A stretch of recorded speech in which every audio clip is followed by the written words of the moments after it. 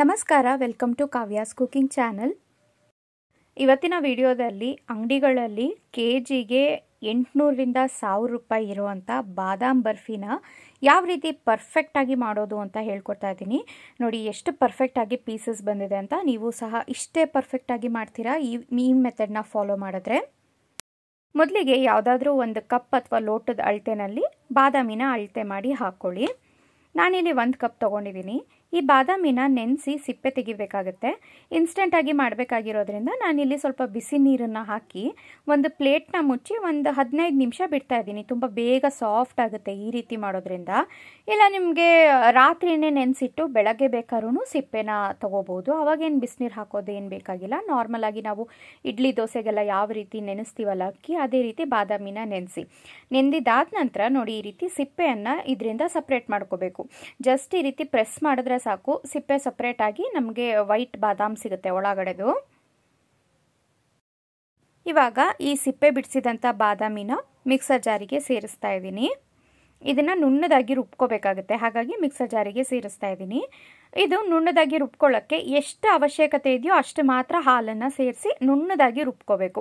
ಇಷ್ಟೇ ಹಾಕಬೇಕು ಅಂತೇನಿಲ್ಲ, ತುಂಬ ತೆಳು ಮಾತ್ರ ಮಾಡ್ಕೋಬೇಡಿ. ನೋಡಿ, ಈ ಹದದಲ್ಲಿ ಇರಲಿ, ಸ್ವಲ್ಪ ಗಟ್ಟಿನೇ ಇರಲಿ ಪೇಸ್ಟು ಆದರೆ ನಮಗೆ ಸ್ಮೂತಾಗಿರಬೇಕು ಹಾಗಂತ ಹೇಳಿ ತುಂಬ ತೆಳು ಮಾಡ್ಕೊಬಿಟ್ರೆ ನಮಗೆ ಬರ್ಫಿ ಸೆಟ್ ಆಗಲಿಕ್ಕೆ ತುಂಬ ಟೈಮ್ ಹಿಡಿಯುತ್ತೆ. ಹಾಗಾಗಿ ಗಟ್ಟಿ ಇರಲಿ ಪೇಸ್ಟು ಬಟ್ ಈ ರೀತಿ ಸ್ಮೂತಾಗಿರಲಿ ಎಷ್ಟು ಹಿಡಿಸುತ್ತೋ ಅಷ್ಟು ನೀ, ಹಾಲನ್ನು ಸೇರಿಸ್ಕೊಳ್ಳಿ. ಹಾಲು ಬೇಡ ಅಂದರೆ ನೀವು ನೀರನ್ನಾದರೂ ಸಹ ಸೇರಿಸ್ಕೊಂಡು ರುಬ್ಬೋದು. ಇವಾಗ ಅದನ್ನು ಒಂದು ಪ್ಯಾನ್ಗೆ ಟ್ರಾನ್ಸ್ಫರ್ ಮಾಡ್ಕೊಂಡಿದ್ದೀನಿ. ಇವಾಗ ಇದಕ್ಕೇನೆ ನಾನು ಸಕ್ಕರೆಯನ್ನು ಸೇರಿಸ್ತಾ ಇದ್ದೀನಿ. ನಾವು ಎಷ್ಟು ಬಾದಾಮಿ ತೊಗೊಂಡಿರ್ತೀವೋ ಅಷ್ಟೇ ಪ್ರಮಾಣದಲ್ಲಿ ಸಕ್ಕರೆಯನ್ನು ಸೇರಿಸ್ತಾ, ಸೇರಿಸ್ಬೇಕು. ಇವಾಗ ಇದನ್ನ ಒಲೆ ಮೇಲಿಟ್ಟು ಸಕ್ಕರೆ ಕರ್ಗೋವರೆಗೆ ನಾವು ಮೀಡಿಯಂ ಫ್ಲೇಮಲ್ಲಿ ಇಡಬೇಕು ಅಷ್ಟೇ ಆನಂತರ ಪೂರ್ತಿ ಬರ್ಫಿ ಪ್ರೊಸೀಜರ್ ಎಲ್ಲ ಲೋ ಫ್ಲೇಮ್ನಲ್ಲೇ ಮಾಡಬೇಕು. ಮೀಡಿಯಂ ಫ್ಲೇಮ್ನಲ್ಲಿ ಒಂದು ಎರಡರಿಂದ ಮೂರು ನಿಮಿಷ ಇದೇ ರೀತಿ ಕೈಯಾಡಿಸ್ತಾ ಇದ್ರೆ ಪೂರ್ತಿ ಸಕ್ಕರೆ ಎಲ್ಲ ಕರಗಿ ಇನ್ನೂ ಲಿಕ್ವಿಡ್ ಆಗುತ್ತೆ. ಹದ ನೋಡ್ತಾ ಇದ್ದೀರಲ್ವಾ? ಈ ರೀತಿ ಸಕ್ಕರೆ ಎಲ್ಲ ಕರ್ಗದ ನಂತರ ನೀರು ಬಿಟ್ಕೊಂಡು ತೆಳು ಆಗುತ್ತೆ. ಒನ್ಸ್ ಇದು ಸಕ್ಕರೆ ಕರ್ಗದ ನಂತರ ನಾವು ಪೂರ್ತಿ ಲೋ ಫ್ಲೇಮ್ ಮಾಡಿಬಿಡಬೇಕು. ಮೀಡಿಯಂ ಫ್ಲೇಮ್ ಅಥವಾ ಹೈ ಫ್ಲೇಮ್ ಇಟ್ಟರೆ ಬೇಗ ಗಟ್ಟಿ ಏನೋ ಆಗುತ್ತೆ but badam barfi colour change ಆಗಿಬಿಡುತ್ತೆ. ಹಾಗಾಗಿ ನಮಗೆ ವೈಟಲ್ಲೇ ಇರಬೇಕು ಈ ಬಾದಾಮ್ ಬರ್ಫಿ. ಹಾಗಾಗಿ ಲೋ ಫ್ಲೇಮ್ನಲ್ಲೇ ಕಂಟಿನ್ಯೂಸ್ ಆಗಿ ಸ್ಟಿರ್ ಮಾಡ್ತಾ ಮಾಡ್ತಾ ಮಾಡ್ತಾ ಒಂದು ಹತ್ತು ನಿಮಿಷಕ್ಕೆಲ್ಲ ಗಟ್ಟಿ ಆಗ್ತಾ ಬರುತ್ತೆ. ಇದು ತುಂಬ ಟೈಮ್ ತೊಗೊಳ್ಳುತ್ತೆ ಗಟ್ಟಿ ಆಗಲಿಕ್ಕೆ.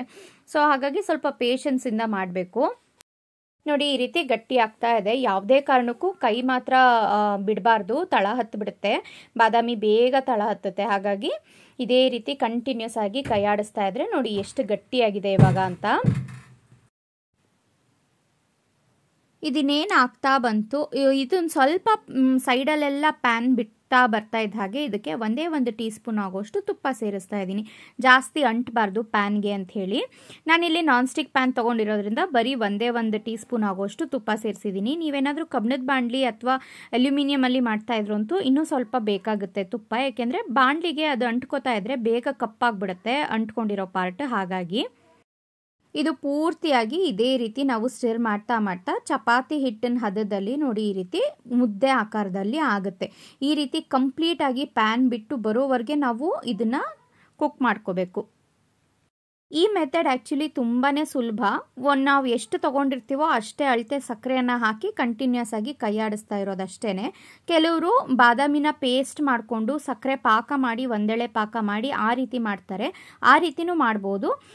ಅದೇನು ತಪ್ಪು ಅಂತ ನಾನು ಹೇಳ್ತಾ ಇಲ್ಲ. ಬಟ್ ಇದು ಸುಲಭ. ಅಂದರೆ ಮೊದಲನೇ ಸಲ ನೀವೇನಾದರೂ ಟ್ರೈ ಮಾಡ್ತಾ ಇದ್ರೆ ಬಾದಾಮ್ ಬರ್ಫಿ, ನೀವು ಸಹ ಪರ್ಫೆಕ್ಟಾಗಿ ಮಾಡ್ತೀರಾ ಈ ಮೆಥಡ್ನ ಫಾಲೋ ಮಾಡಿದ್ರೆ? ನೋಡಿ, ಇವಾಗ ನಾನು ಸ್ಟವ್ನ ಆಫ್ ಮಾಡಿದ್ದೀನಿ ಸ್ವಲ್ಪ ಗಟ್ಟಿ ಆಗ್ತಿದ್ದ ಹಾಗೇನೆ. ಪ್ಯಾನ್ಗೆ ಪೂರ್ತಿಯಾಗಿ ಸ್ಪ್ರೆಡ್ ಮಾಡಿಬಿಟ್ಟು ಒಂದು ಎರಡು ನಿಮಿಷ ಅದು ತಣ್ಣಗಾಗಲಿಕ್ಕೆ ಬಿಡಿ. ಅದು ತಣ್ಣಗಾಗೋಷ್ಟರಲ್ಲಿ ನಾವು ಅದನ್ನು ನಾದಬೇಕು ಹಿಟ್ಟನ್ನು. ಹಾಗಾಗಿ ಒಂದು ಬಟರ್ ಪೇಪರ್ಗೆ ಒಂದು ಸ್ವಲ್ಪ ತುಪ್ಪನ ಹಾಕಿ ನಾನು ಚೆನ್ನಾಗಿ ಗ್ರೀಸ್ ಮಾಡಿ ಇಟ್ಕೋತಾ ಇದ್ದೀನಿ. ಬಟರ್ ಪೇಪರ್ಗೆ ಎಲ್ಲೂ ಅಂಟಬಾರ್ದು ಅಂತ ಹೇಳಿ. ಇವಾಗ ಈ ಗ್ರೀಸ್ ಮಾಡಿರೋ ಬಟರ್ ಪೇಪರ್ ಮೇಲೆ ಒಂದು ಎರಡು ನಿಮಿಷ ತಣ್ಣಗೆ ಮಾಡ್ಕೊಂಡಿರೋ ಅಂಥ ಬರ್ಫಿ ಮಿಕ್ಸ್ಚರ್ನ ಸೇರಿಸ್ಬೇಕು.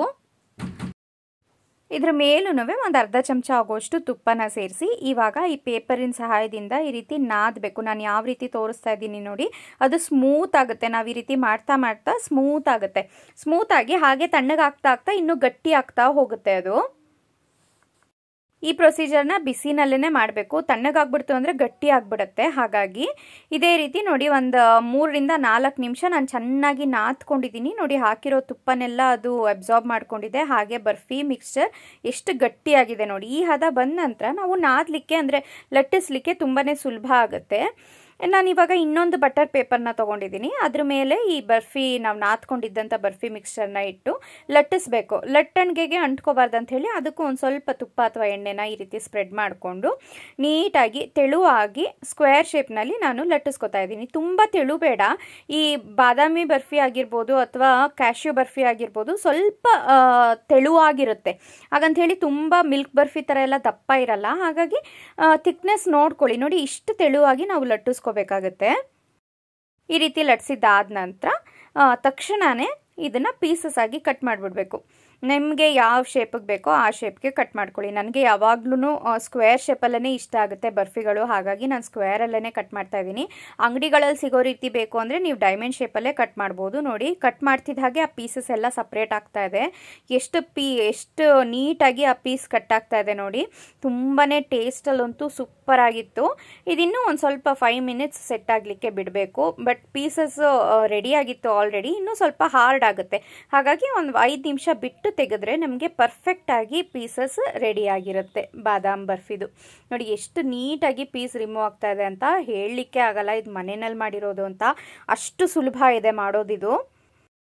ನಮ್ಮ ಮನೆಯಲ್ಲಿ ಡ್ರೈ ಫ್ರೂಟ್ಸ್ ಇರುತ್ತೆ. ಅಂದರೆ ಕ್ಯಾಶ್ಯೂಸ್ ತುಂಬ ಇಷ್ಟಪಡ್ತಾರೆ ಮನೆಯಲ್ಲಿ. ಹಾಗೆ ತಿನ್ನಲಿಕ್ಕೆ ಬಾದಾಮಿ ಯಾರು ಅಷ್ಟು ಇಷ್ಟಪಡಲ್ಲ ತಿನ್ನಲಿಕ್ಕೆ ಹಾಗಾಗಿ ನಾನು ಇದನ್ನು ಬಾದಾಮ್ ಬರ್ಫಿ ಏನಾದರೂ ಮಾಡಿದ್ರೆ ಖಾಲಿ ಆಗುತ್ತೆ ಅಂತ ಹೇಳಿ. ಬಾದಾಮ್ ಬರ್ಫಿ ಮಾಡಿದ್ದೀನಿ. ನೀವು ಒಂದು ಕಪ್ಪೇ ಬಾದಾಮಿ ಹಾಕಬೇಕು ಅಂತ ಇಲ್ಲ. ಸಣ್ಣ ಲೋಟದ ಅಳತೆನಲ್ಲೂ ನೀವು ಬಾದಾಮಿನ ಹಾಕಿ ಮಾಡ್ಬೋದು. ಒಂದು ಹತ್ತರಿಂದ ಹನ್ನೆರಡು ಪೀಸ್ ನಿಮಗೆ ಆರಾಮಾಗಿ ಸಿಗುತ್ತೆ ಸಣ್ಣ ಕಪ್ನಲ್ಲೇ ನೋಡಿ, ಎಷ್ಟು ಚೆನ್ನಾಗಿ ಸ್ಮೂತ್ ಟೆಕ್ಸ್ಚರ್ ಬಂದಿದೆ ಬರ್ಫಿ ಅಂತ. ಖಂಡಿತವಾಗ್ಲೂ ಟ್ರೈ ಮಾಡಿ, ಇಷ್ಟೇ ಪರ್ಫೆಕ್ಟಾಗಿ ಮಾಡ್ತೀರಾ. ಸೊ ರೆಸಿಪಿ ಎಷ್ಟು ಸುಲಭವಾಗಿ ಮಾಡ್ಬೋದು ನೋಡಿದ್ರಿ ಅಲ್ವಾ? ಬರ್ಫಿ ರೆಸಿಪಿ ನಿಮ್ಮೆಲ್ಲರಿಗೂ ಇಷ್ಟ ಆಗಿದೆ ಅಂತ ಅಂದ್ಕೊಂಡಿದ್ದೀನಿ ಇಷ್ಟ ಆಗಿದ್ರೆ ದಯವಿಟ್ಟು ಚಾನಲ್ನ ಸಬ್ಸ್ಕ್ರೈಬ್ ಮಾಡ್ಕೊಳ್ಳೋದು ಮರಿಲೇಬೇಡಿ. Thank you